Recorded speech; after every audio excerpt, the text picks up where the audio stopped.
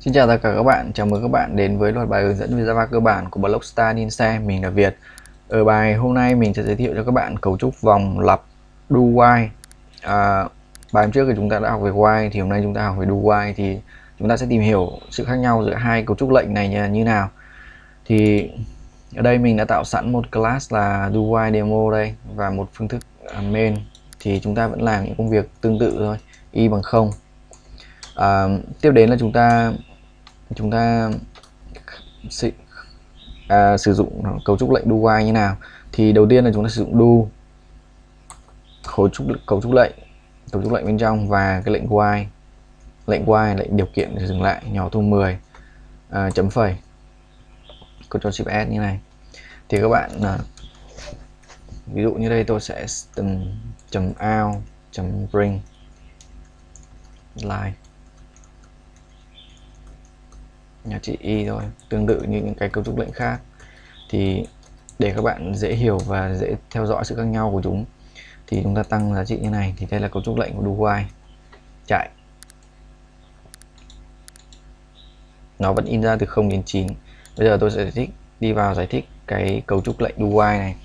À, cấu trúc lệnh do while là như này chúng ta có từ khóa hai từ khóa sử dụng hai từ khóa do và while khác với while chúng ta chỉ sử dụng mỗi từ khóa while thôi. Thì do à, cấu trúc lệnh khối lệnh ở đây khối lệnh ở đây.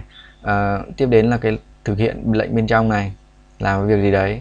Xong đấy là trong cái cấu trúc while thì là có điều kiện để dừng lại tương tự như cấu trúc của for, while và for và kết thúc bằng một dấu chấm phẩy.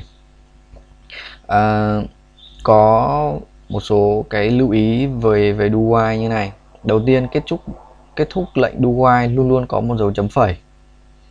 Một số trường hợp các bạn thiếu dấu chấm phẩy nó sẽ báo lỗi à, tức là một số câu hỏi ấy, tức là nó sẽ hỏi các bạn về ví dụ các bạn khi đi tuyển dụng về Java cơ bản thì nhà tuyển dụng người ta sẽ bỏ cái dấu chấm phẩy đi hoặc là một số cái kỳ thi ví dụ chẳng hạn thì nó sẽ xóa bỏ những cái này đi và các bạn sẽ nó sẽ tập trung hỏi các bạn thì các bạn lưu ý đừng để bị lừa bởi những lỗi cơ bản như này.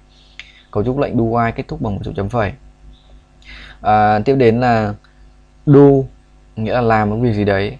While nghĩa là trong khi thực hiện trong khi cái điều kiện này đúng thì cấu trúc lệnh như này thì mặc dù nó luôn luôn thực hiện một lần trước, sau đấy mới đến kiểm tra điều kiện thì các bạn thấy thứ tự, tuần tự của nó do đến while mà, thì nó suốt luôn luôn thực hiện làm làm một cái gì đấy, sau đấy mới kiểm tra điều kiện sau đấy lặp lại nếu mà đúng.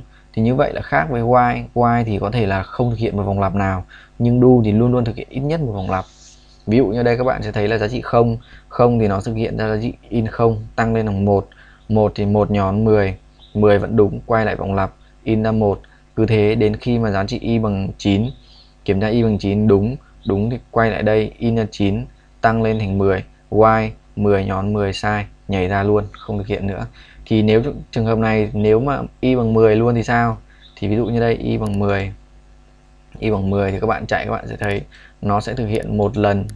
Tức là nó thực hiện y ra giá trị 10 in ra giá trị 10 ở đây và nó sẽ nhảy ra. Thì ở trong trường hợp này các bạn sẽ thấy là do nó thực hiện trước tức là cứ làm thôi. Đây y bằng 10 tăng lên y bằng 11 thì y 11 nhỏ thu 10 sai thì nó nhảy ra thì nó không thực hiện nữa.